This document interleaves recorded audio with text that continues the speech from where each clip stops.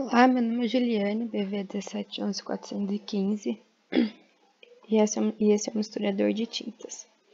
Bom, aqui a gente tem a máquina de estado, tem todos os estados, tem o, o E00 que escolhe se vai ser manual ou automático, tem o E0, E1, E2, E3, o estado 4, o estado 5 e o estado 6 e a gente volta aqui para o estado 0. O estado 00 é só para escolher se ele vai ser manual ou automático.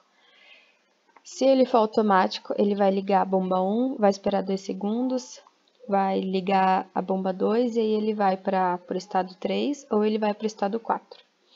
Aqui ele vai esperar 2 segundos, vai ligar o motor e vai para o estado, é, estado 05 e volta para o estado 5. Aí ele vai esperar 45 segundos, vai para o estado 6 que ele vai ligar a bomba 3 e a válvula 3, vai para o estado E0, e aí depois ele volta novamente.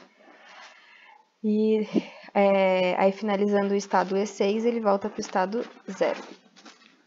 E aqui novamente vai começar todo esse ciclo.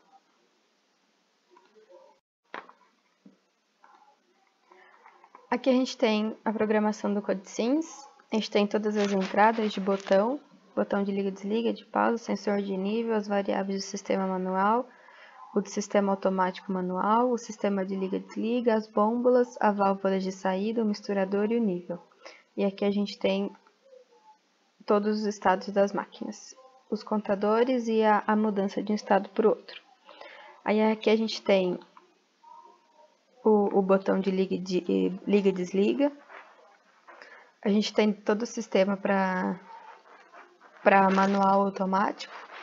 Aqui a gente tem o run, que é quando inicializa todos os estados, e aqui a gente tem as configurações dos estados conforme a nossa máquina, máquina do diagrama de estado.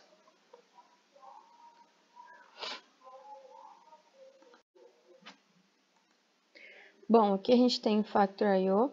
com todas as suas tags e seus sensores, e tem o sensor, a bomba, a válvula B2, o sensor de nível, Aqui a gente tem a bomba B3, que a gente tem o tanque com o misturador e o motor do misturador com o nível também.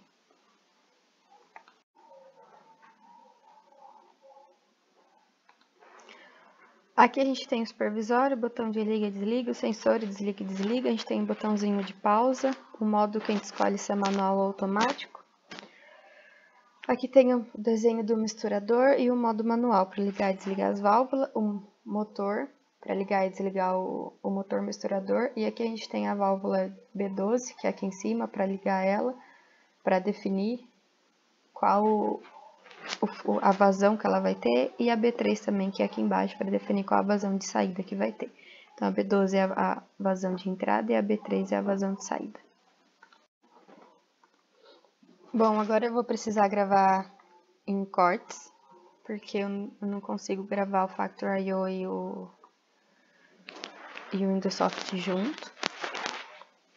Bom, vou ligar, ele tá no automático. Aqui a gente já viu a válvula.